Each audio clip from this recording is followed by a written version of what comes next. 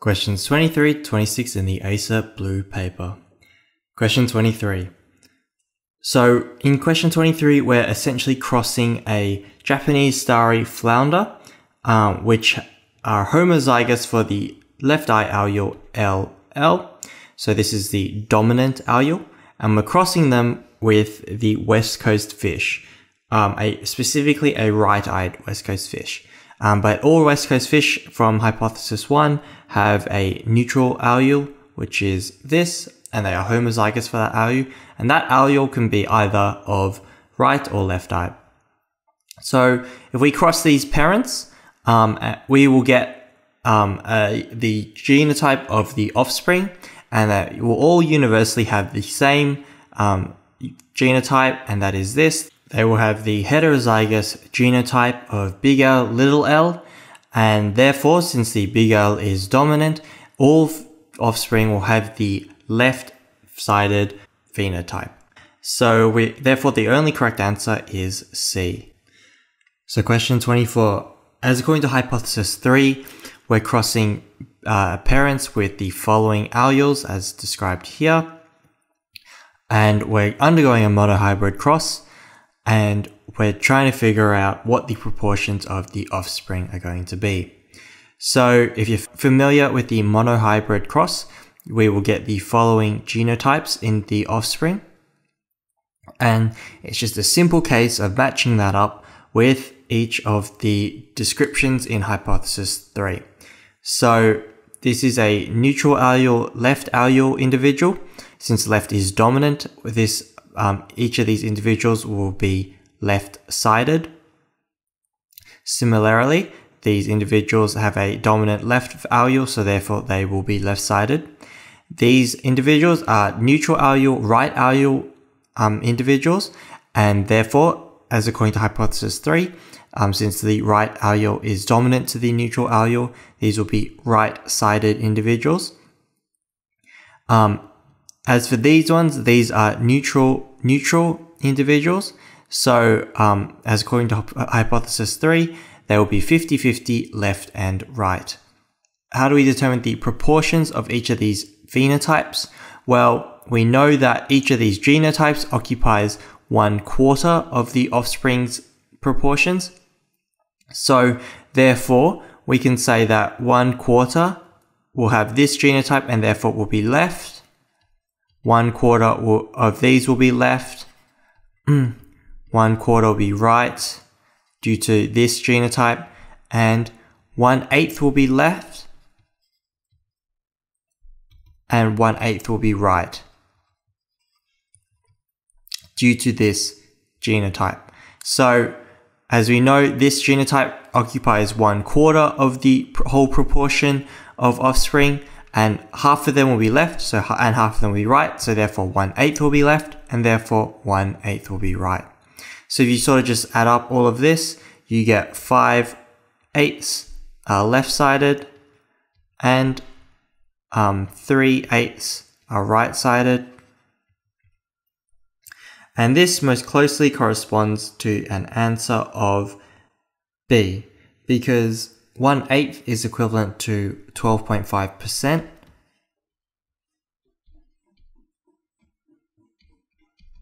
Um, and 3 eighths is therefore about, uh, is therefore 37.5%, which means that uh, if 40% were right-eyed, well, that would be closest to 3 eighths, and therefore C is the correct answer.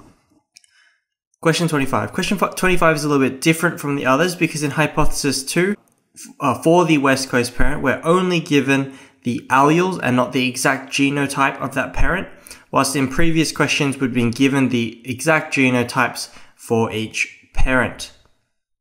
So how do we sort of predict what the offspring will look like if we don't even know what the genotype is for one of the parents? Well, luckily we uh, there is the Hardy-Weinberg principle that can help us out. And namely, the Hardy-Weinberg principle allows us to figure out the genotype frequencies if only given the allele frequencies. So the frequency of an allele is the percentage that the allele takes up in a population. um, say we have two alleles, big A and little a, and that each allele has certain frequencies, P and Q respectively.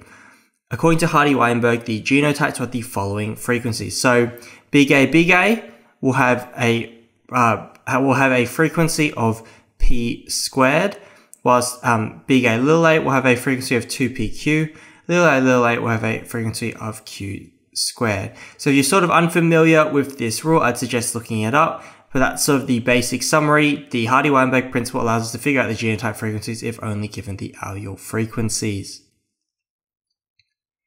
So using this information, we can answer the question.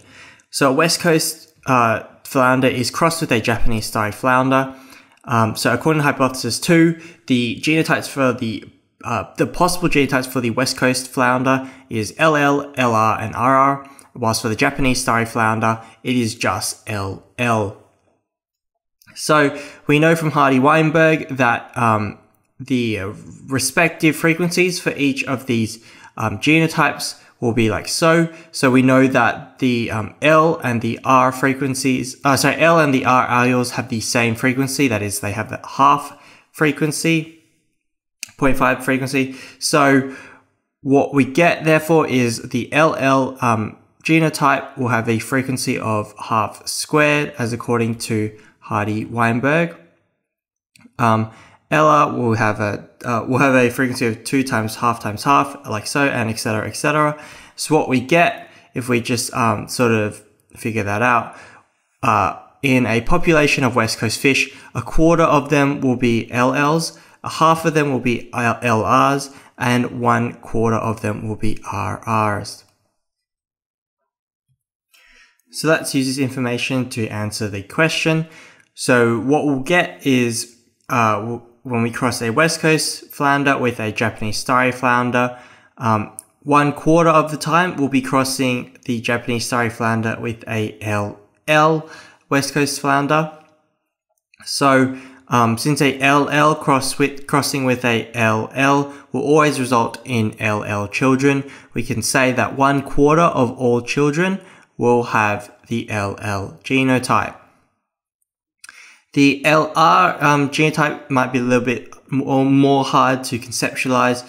So if we cross, um, so 50% of the time we're going to be crossing a um, LR West Coast Flounder with a LL.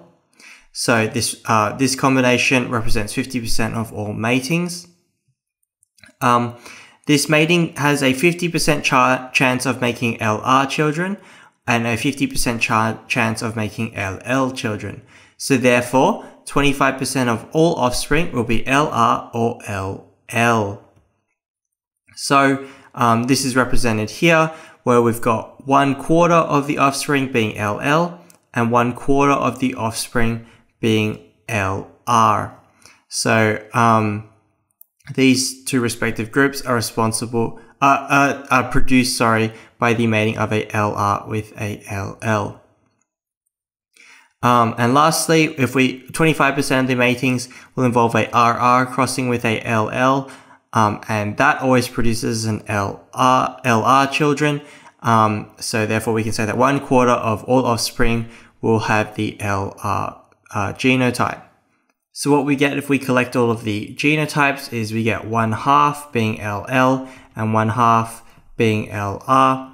So as according to hypothesis 2, this means that 3 quarters will be left-sided, whilst 1 quarter will be right-sided. and that corresponds with an answer of A. So question 26 is sort of one of those weird questions where basically you got to try and prove that each of these hypotheses is correct. And if you can, if you can find any possible combination within each of these hypotheses in which all the children have a 50-50 chance of being either right or left-sided, well, then you can rule that hypothesis in. So if you sort of go through each of these um, combinations, uh, such as in hypothesis one, the LL neutral uh, allele being combined with the LL neutral allele for the West Coast flounder, well, you'll find that they always result in um, a 50-50 chance of being either left or right-sided for their offspring. So you can sort of confidently say that each of these hypotheses uh, succeed, as in they are all correct. So D is the only correct answer. That none of them um, are kind of ruled out by the information in 26. How would you answer this in the exam? Well, it's sort of, to my knowledge, it's sort of one of those questions where it's just trial and error. You sort of uh, just throw together genotypes. Uh, I guess there are certain combination of genotypes which are more likely to result in a 50-50 split. And basically you've got to try and work out whether one, there is a possible combination in which all the offspring have a 50-50 split, split of being right and left sided. And that two, um, there's no restrictions on that allele being present in each of the respective geographic locations. For example, in hypothesis one, all of the um, West Coast fish, they all have the same genotype, and that is the LL neutral allele. So you can't sort of say that the West Coast fish is going to have a bigger, bigger allele in the sort of combination that you're trying out. But basically, yeah, if you sort of go through each of these combinations, you'll find that they all are possible within each hypothesis, and therefore um, none are ruled out.